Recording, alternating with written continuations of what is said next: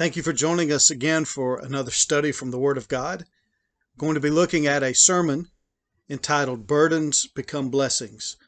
This is actually the second part of the sermon. The first part is uploaded on our channel. We encourage you to look for that and to listen to the first part of this sermon.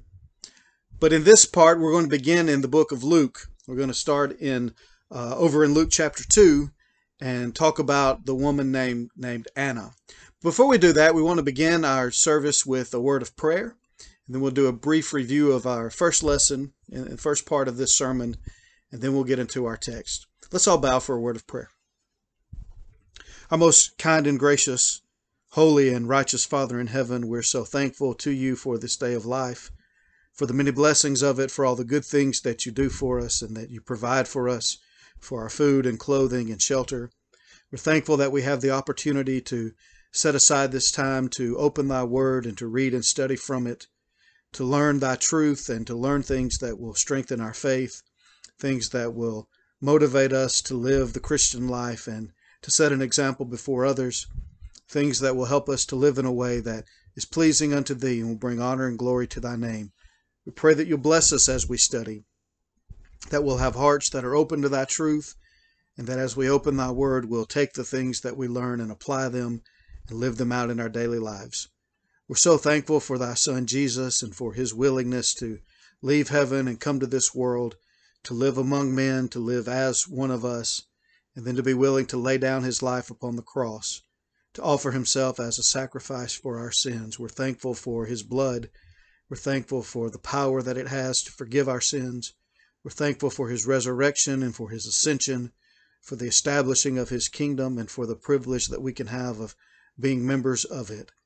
We pray that as we look into your word and as it goes forth, that we'll see those things that are true, find things that will help us to remember all the good that you've done for us, to remember the hope that we have through thy Son and the, the promise of eternal life in heaven, and let that motivate us to live our lives in submission to thy will and giving them sacrificially to serve thee each day that we have here on this side of eternity.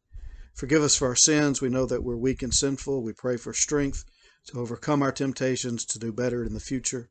We pray thy blessings upon the sick throughout our land, those that we are thinking of now, especially due to the virus in our land. We pray that they may be healed. Pray you bless those who are caring for them. Bless us all with protection. Help us to get through this trying time that things may be better for us in the near future. Watch over our country. Bless our leaders that they'll make decisions that are good what is best for the people of this land and also for the truth of thy gospel to go forth into all the world. Bless us as we study. Help us always to seek to know thy will and to live faithful unto death so we can have that eternal home with thee in heaven. In Jesus' name we pray. Amen. So, in our study, our, our last study in connection with this lesson, we introduced the idea by talking about how the Bible uses the figure of childbirth to illustrate an important principle that things that we sometimes see as burdens, things that might be painful, things that might cause us trouble or even heartache, how oftentimes those result in great blessings. So there's pain involved in, in labor, travail, the Bible calls it, when a woman is going to have a child. But then there's tremendous joy when the child is born, and the pain is soon forgotten.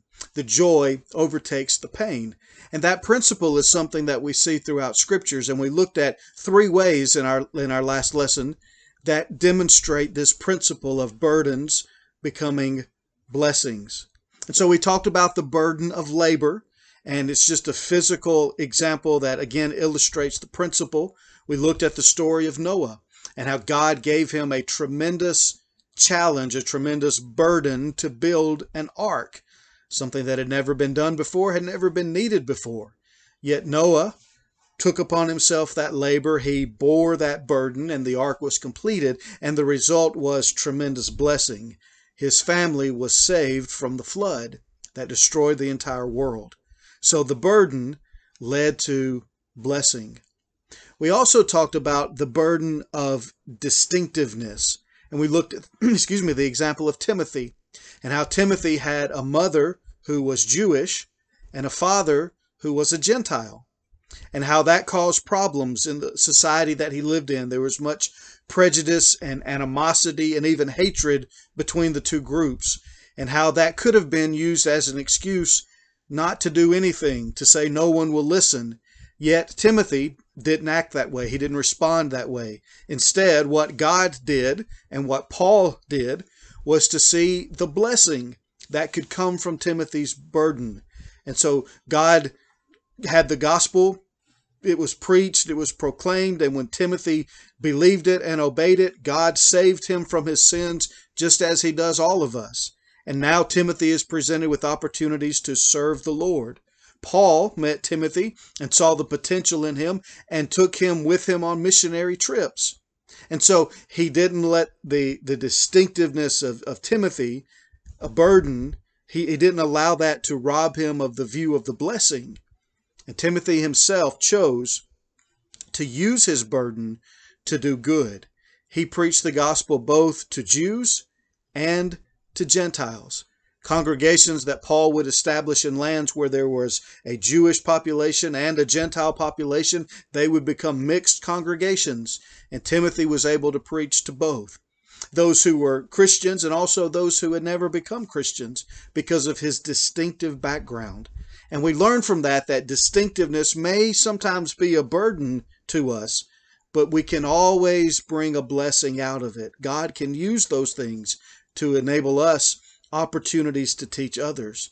Some that another might not reach, I might be the person to reach them because of the burdens in my life, the, the trials and tests that I have gone through. Maybe I can reach someone in a similar situation. And that's true for all of us, just as it was for Timothy.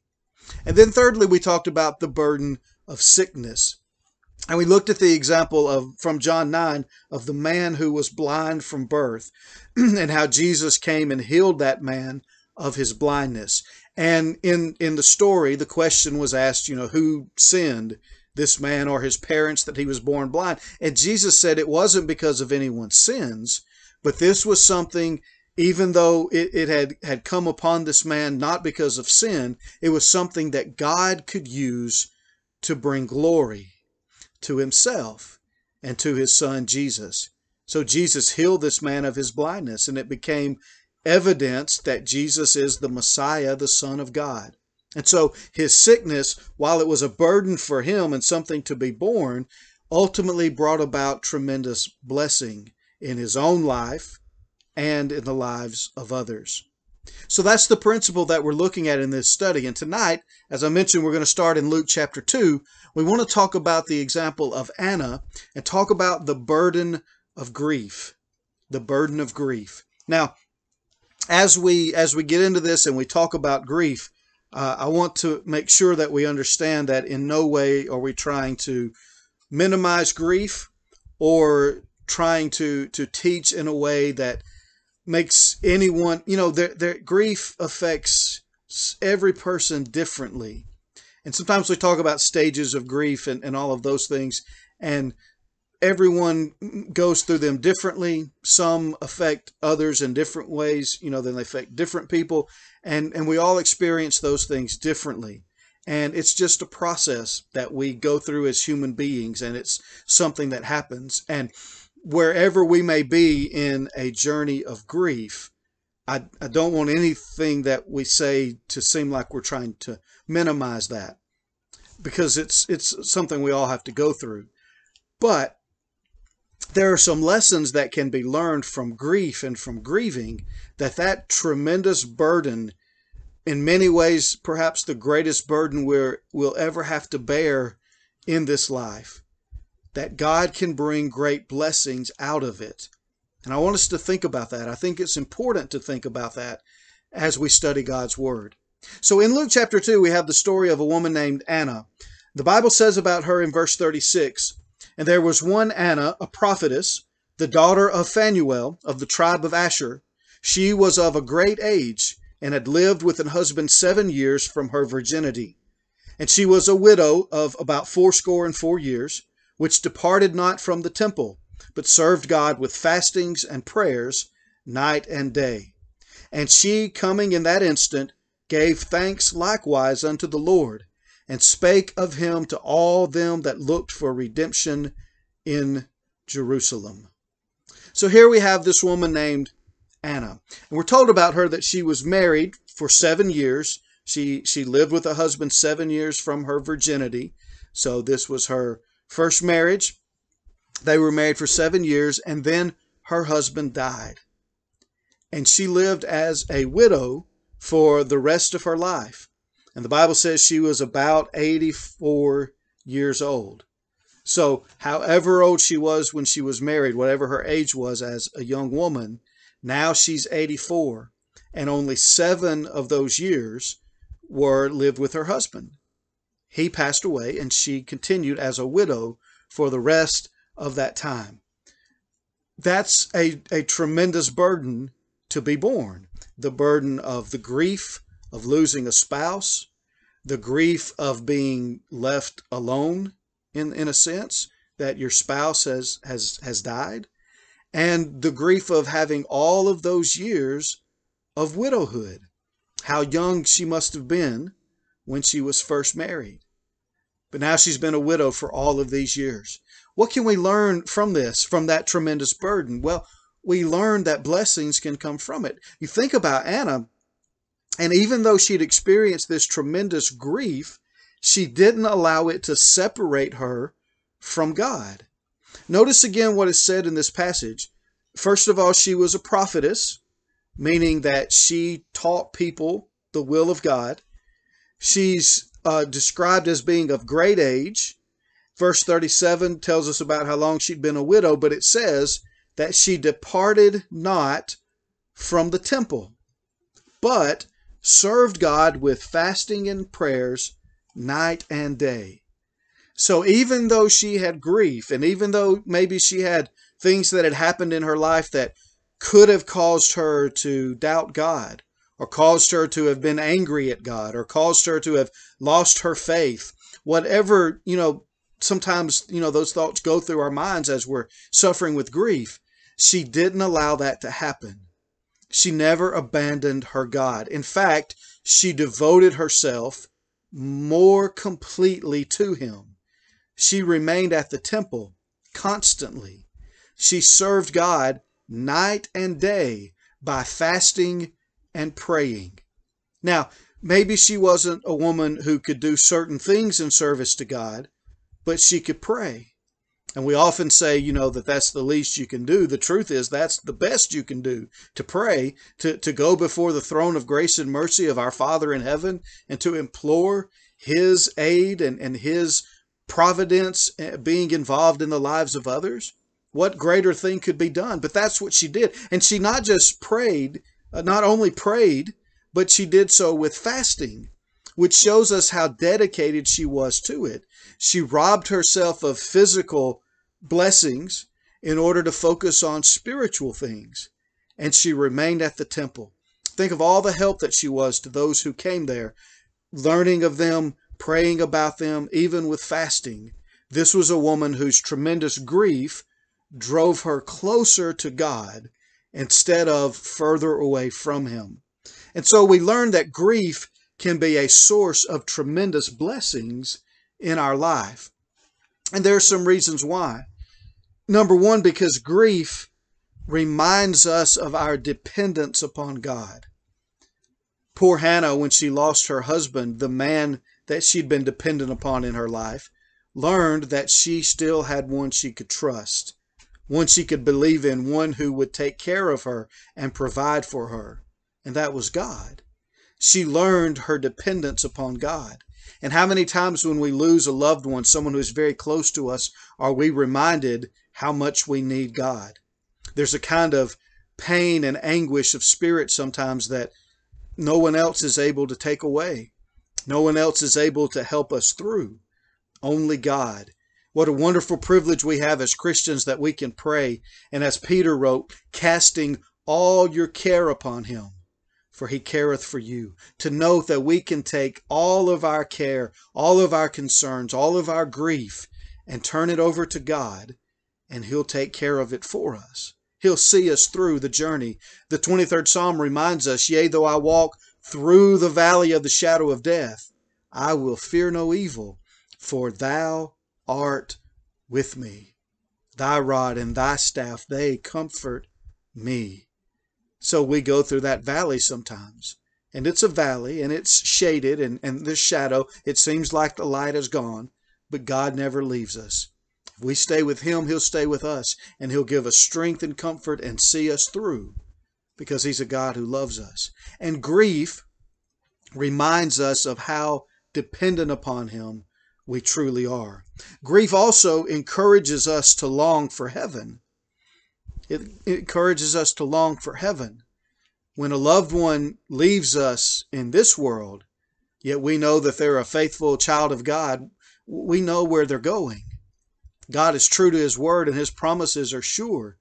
And those whose sins are washed away by the blood of Christ are promised eternal life in heaven.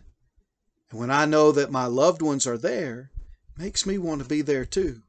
Obviously, I want to go because that's where God is. That's where my Father is. That's where the Savior is. That's where the Holy Spirit is. And I want to dwell with God for all eternity in His presence and in His protection and care and love.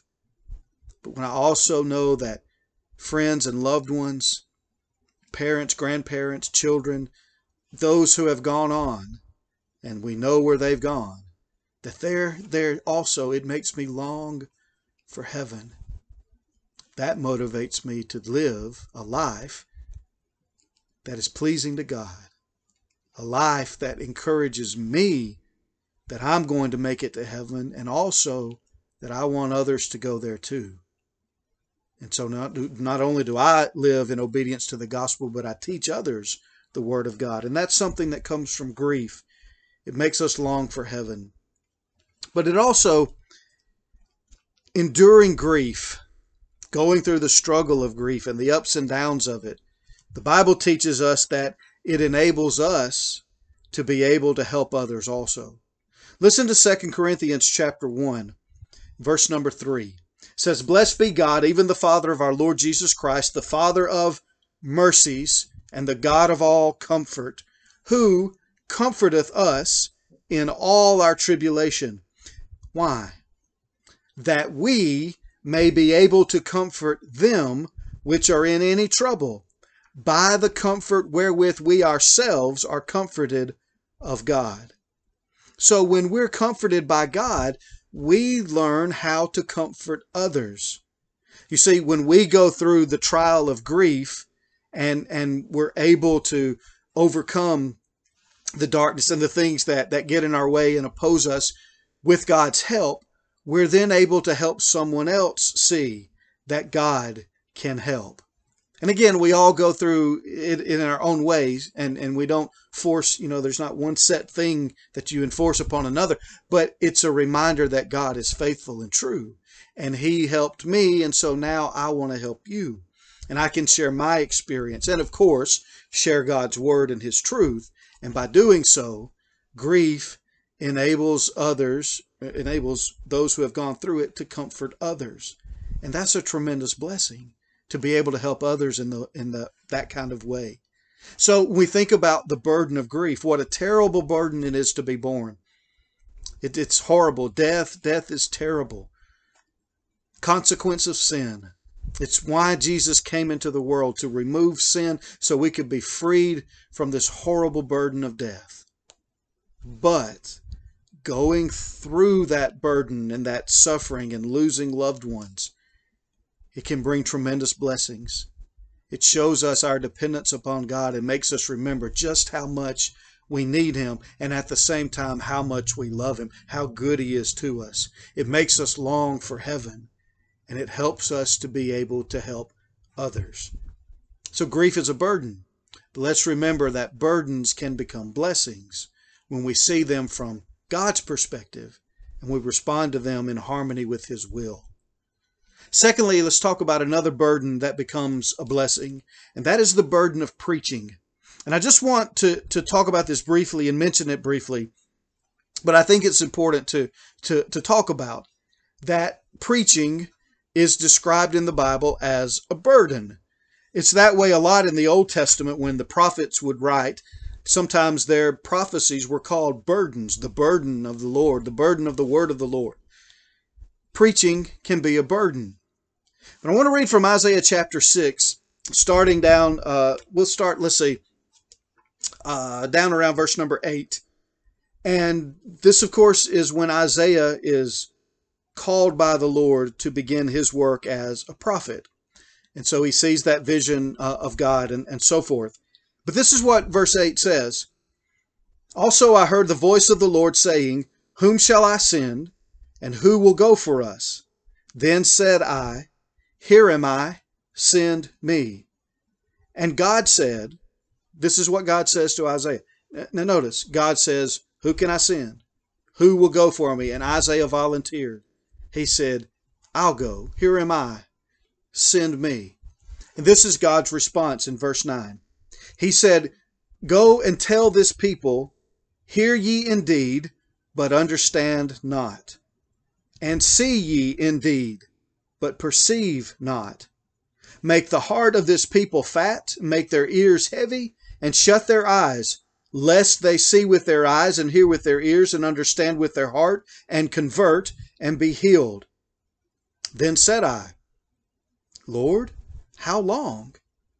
And he answered, Until the cities be wasted without inhabitant, and the houses without man, and the land be utterly desolate. And the Lord have removed men far away, and there be a great forsaking in the midst of the land. But yet in it shall be a tenth, and it shall return and shall be eaten as a teil tree and as an oak whose substance is in them when they cast their leaves, so the holy seed shall be the substance thereof. Now let's think about what God says to Isaiah. He says, I need someone to go and preach. And Isaiah says, I'll go. And God says, okay, go and preach. And here's what you do when you preach.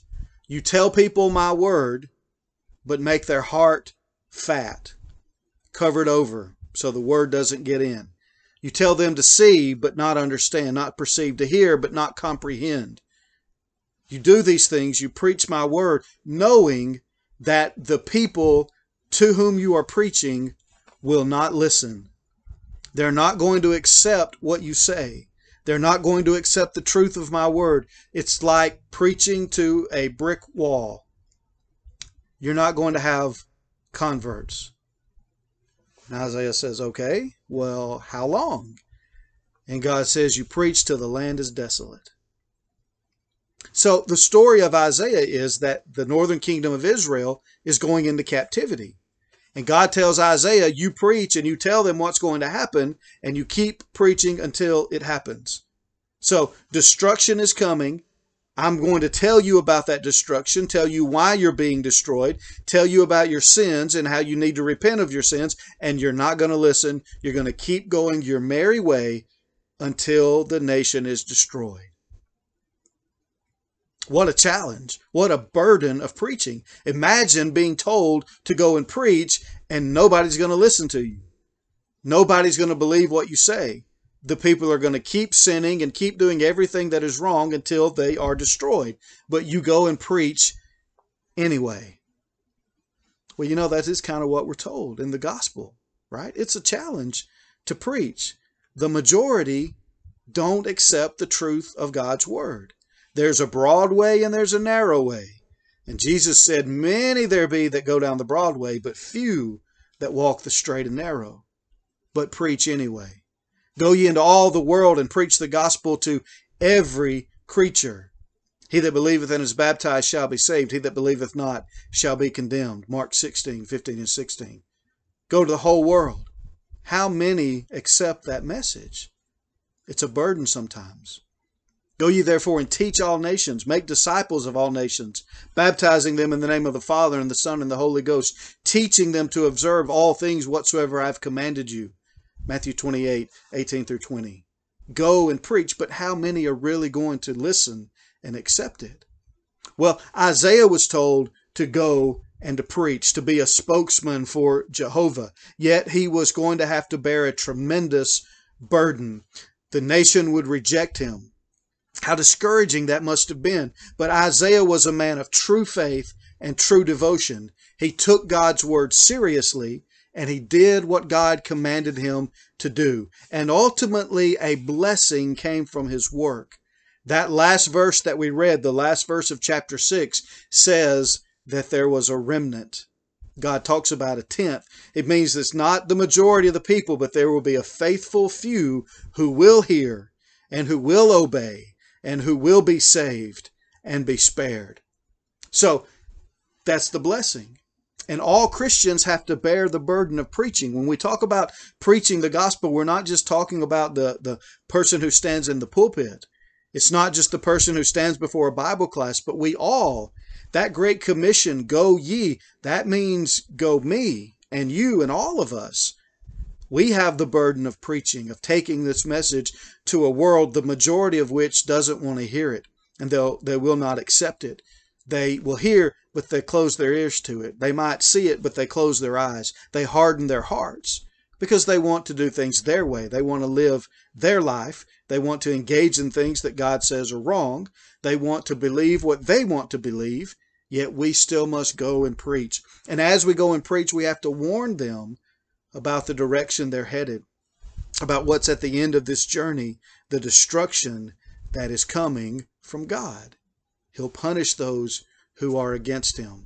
So it's a burden to go into all the world. It's a burden to have to raise money to go into other places to preach. It's a burden to have doors slammed in your face, to face rejection and to face ridicule. It's a burden to study the Bible. It's a burden to have to diligently study the scriptures because someone has come up with some crazy idea and doctrine that that doesn't you know make any sense. But you know when you go and talk to this person you're going to have to defend the truth against their error. And so you have to understand what they say and you have to study it. That's not always easy. There's so many false doctrines in the world that we have to you know study about and know about. That that can be a burden but the blessings of those efforts are eternal when we do what God says and we preach His word without adding to it or taking from it or altering it in any way, the blessing is that souls are saved. That's eternal blessing. They, they're saved forever. So there's a burden, but it becomes a blessing. So we have the burden of grief. We've talked about the burden of preaching. Let's close by talking about the burden of sacrifice. And this really kind of sums up the, the whole thing that we've been talking about in both of these lessons. Burdens becoming blessings. Burdens are burdens because we have to sacrifice. I want us to go to Philippians chapter 2 and look at the example of Jesus and let this teach us the, the ultimate lesson and, and the concluding lesson of this sermon, of these two sermons, about the burden of sacrifice. Philippians 2 and verse 5 says, Let this mind be in you, which was also in Christ Jesus. And so we are told that we have to learn to have the mindset of Christ, to think the way that he thought. Let this mind be in you, which was also in him. So Jesus' mindset was one of serving God, doing his will, no matter the cost no matter the sacrifice, no matter what he had to give up. He was willing to serve God no matter the sacrifice. Now, it's not easy to sacrifice the things that we hold dear. It's not if it were easy, it wouldn't be a sacrifice. Right? So it's not easy. There's there's a burden that comes with it. Yet, if we're going to follow Christ, follow the example that he set, we have to be willing to make those sacrifices. So let's talk about the sacrifice of Jesus. Verse 6 says, Who, Jesus, being in the form of God, thought it not robbery to be equal with God. So Christ humbly gave up his equality with God in order to leave heaven and come to this world and live as a human being. Now, that doesn't mean he ceased being God. He still was and is God always is and always will be. He's eternal by his nature. But it means he left that position in heaven, that place at the side of God, and he came down into this world to be born as a human being. That is a humbling thing. and a humiliating thing for God to be a man, to take upon him the form of a human being. Yet Christ made that sacrifice because he loved us. He left the glories of heaven. He, he, he left heaven. We, I try to think about how to explain it, and you can't. We can't even imagine. We've never seen heaven, but from everything we know from Scripture, how wonderful and glorious and amazing it must be. So much so that when we get there, we don't ever want to leave. We don't want to think about leaving heaven. Yet Christ did, in order to be one of us, so He could die on the cross for our sins. He left the glories of heaven. Verse seven says but made himself of no reputation, and took upon him the form of a servant, and was made in the likeness of men. He sacrificed having servants, an innumerable host of angels that were his servants, to become a servant. What a sacrifice he made. Look also in verse 7. It says, being found in fashion as a man. I'm sorry, he made himself of no reputation took upon him the form of a servant, and was made in the likeness of man. He gave up his heavenly body for a physical one. How much trouble do our physical bodies give us with aging and with sickness and with injuries and being hurt and wounded and all those things? He had a spiritual heavenly body and he took upon him human flesh. And then verse 8 says, being found in fashion as a man, in a human body. He humbled himself even further than what he'd done previously. He humbled himself and became obedient unto death. So, this human body that he took upon him, he allowed it to be put to death. He suffered the agony of death. And not just any death, even the death of the cross. The excruciating pain of scourging followed by crucifixion, the nails through his hands and his feet, the sheer agony of attempting to lift oneself just to be able to breathe on the cross. That's what Jesus did. He humbled himself to leave heaven, to be made as a man, not just any man, but a servant, not just any servant, but one who would suffer death, and not just any death, the death of the cross. That's sacrifice. And that's what Jesus did for you and for me. He sacrificed his life at Calvary. Wherefore, God also hath highly exalted him, and given him a name which is above every name, that at the name of Jesus every knee should bow, of things in heaven and things in earth and things under the earth, and that every tongue should confess that Jesus Christ is Lord, to the glory of God the Father. He gave his life. He shed his blood, offered it as a sacrifice for our sins. He made that sacrifice. But that burden became a blessing. For him, because he was highly exalted, for him, because he rose from the grave and he ascended back to the Father in heaven. For him, because ascending back to the Father at his right hand, he's seated on the throne of David and reigns over his kingdom as King of kings and Lord of lords. He's been given a name that is above every name. There's no other being in existence who has been and is what Jesus is God and man together. He's the only one. And his name is above every name because of that. And because of that, every knee on earth should bow before him. Every tongue should confess that he is Lord to the glory of God the Father, for it was God's plan that brought all of this into motion. See, the burden became a blessing, but oh, we must not make the mistake of thinking that the blessing was just for him. No, the burden that he bore became our greatest blessing salvation.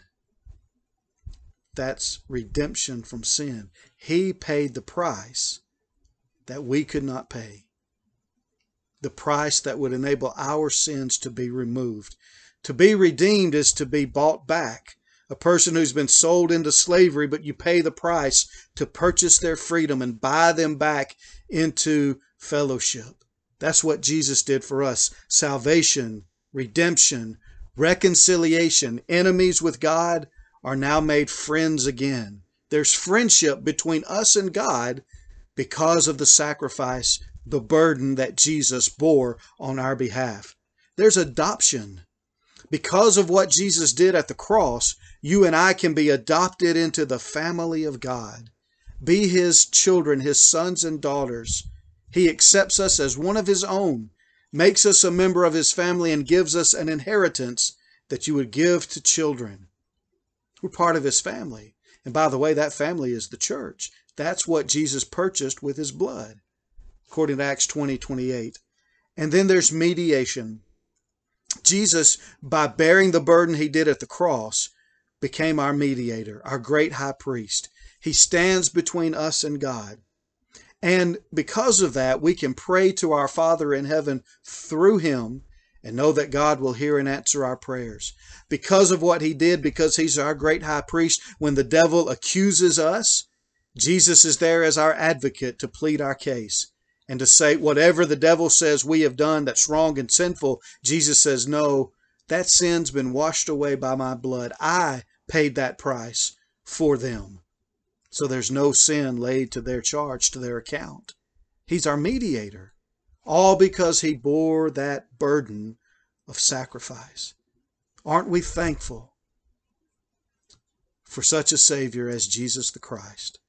Aren't we thankful that he loved us enough to humble himself to do what he did, to become a man, to be a servant, to be betrayed by his own creation, to have the, the very beings that he brought into existence with, with the power of his word, to have them spit in his face, to mock and ridicule him, to blindfold him and to hit him, and then to ridicule by saying, prophesy who it is that hit you, to make a crown of thorns to place on his head, and then to hit him with a reed, to scourge him, and to nail him to that old rugged cross.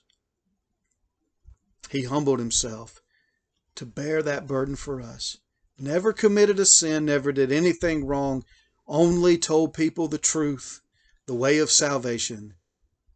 Yet he suffered terribly bore the burden of sacrifice for our blessings.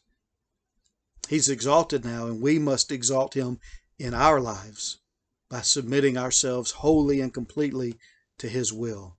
But there's something else that we have to learn from his example, and that is that you and I must also be willing to bear the burden of sacrifice. We need to be willing to sacrifice because we know the blessings that will come. So we bear the burden of sacrifice in submission to the Word of God. You know, when we do that, sometimes it makes enemies. Sometimes it makes people who were our friends not be our friends anymore. Sometimes when we submit to the Word of God, it means we have to give up things that, that we enjoy, things that, that we might like sinful things, obviously, but sometimes even things that are not sinful in and of themselves. First Corinthians deals with that. Submitting to the Word of God means doing what He says, even when it offends others, even when it causes others not to want anything to do with us. Sometimes it's a burden, but we know the blessing that, that, that comes. To go into all the world and preach the gospel is a burden, but we do it because of the blessings that will come, not just for us, but for others as well. We sacrifice to do that, but it's because burdens become blessings. Sometimes I hear people pray that we will wear out our bodies in service to the Lord. And you know, that's a sacrifice that we're called to make, to give our lives to serving Him. And that is to be faithful unto death we always have the obligation of doing the will of God, being obedient to Him. Blood, sweat, and tears for the kingdom. That's who we are as Christians. Is it always easy? Of course not. Are there challenges? Absolutely. Do things get difficult sometimes? Of course they do. But we bear that burden anyway. We're willing to sacrifice because of the blessings that will come. What about our pocketbook? What about our wallet? that money that's in the bank that we really want to have to buy this and to buy that and to spend on these things for us. It's a sacrifice to use that money to do the work of the Lord, to support the Lord's church, to support those who preach the gospel, to support those who are doing good, benevolence. It's a sacrifice, it's a burden, but there are tremendous blessings that come from it. And so I hope that as we think about this and think about these these points that we've talked about in this lesson, that we'll understand that there are burdens and God knows that there are burdens. He understands the world that we live in and the things that we face. But He has designed it in such a way that burdens can always bring blessings. We just have to learn to see them from the right perspective, to respond to them in harmony with the will of God, and trust Him to see us through. Burdens will come. They'll come into your life, they'll come into mine. And whether it's the burden of sickness or the burden of grief, the burden of being distinctive from others, the burden of physical labor and spiritual labor in the Lord's kingdom, the burden of preaching the gospel, or the burden of sacrifice.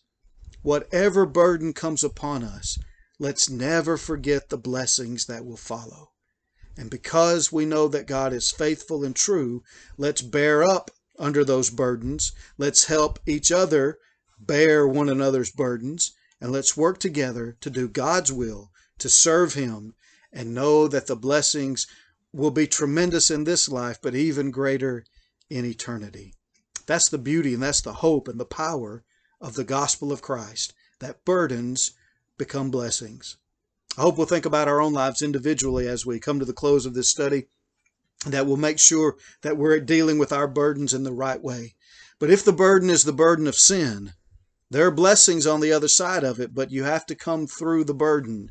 And the way to do that when it comes to sin, the only way, is to have those sins washed away by the blood of Jesus. That comes by hearing God's word, Romans 10 17, believing the truth of it, that Jesus is his Son and our Savior. Jesus said, Except ye believe that I am He, ye shall die in your sins. We have to believe it. We have to believe it strongly enough that we'll do whatever He asks of us. So repent of our sins. Luke 13:3, Acts 17:30. We have to be willing to confess our faith in him as Lord and Savior, just like the Ethiopian eunuch did in Acts chapter 8. And then we must be baptized for the remission of sins, because that's what the Lord commands us to do. Mark 16, 16, Acts 2:38, Acts 22:16 and other passages as well. Upon doing those things we contact the blood of Christ, our sins are washed away, that burden then becomes a blessing because now we can learn from our mistakes, learn from our past, and move forward, putting those things behind us, determining never to go back to that former way of life, and give ourselves to wholly and completely serve our Lord, faithful unto death, and knowing that heaven will be our home. I hope we'll think about those things, and I hope if you haven't done those things and you're ready to, that, that you'll make that decision if you have done those things and become a Christian, but you haven't been faithful to the Lord, and now you're again under that burden of sin, remember that Jesus says, Come unto me, all ye that labor and are heavy laden, and I will give you rest. Take my yoke upon you and learn of me. For my yoke is easy and my burden is light.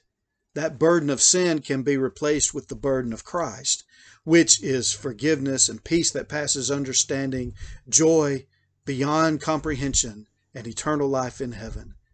Repent of your sins. Confess that you've done wrong. Pray for forgiveness. God will forgive and He will restore. And that burden can again become a blessing. We can give our lives to serve Him faithfully. I hope we'll think seriously about those things. Make sure our burdens always become blessings by approaching them from God's perspective and living in obedience to his will. Let's close with a word of prayer. Our most holy and righteous Father in heaven, again, we thank you for this day, for this time that we've had to study together from thy word. We're thankful for its teaching, for the encouragement that it gives us. Help us to bear our burdens. Help us to have strength to face not only the temptations that we that we come across in this life, but also the tests and the trials, the general hardship that we all go through. Help us to have strength to put our trust in Thee, to lean upon Thee, to cast our cares upon Thee, to trust in the power of Thy Word, and so we live in obedience to it, even when it seems like that, like everything is telling us to do differently. That we'll trust Your Word and do what You say, and know that the blessings will come. Bless us, bless our efforts in studying. May it strengthen our faith, motivate us to serve Thee faithfully. Watch over us and keep us safe in Thy care, we pray. In Jesus' name, amen. Thank you for studying with us. I hope it's been encouraging to you, and I hope that you'll come back again in the future. Thank you.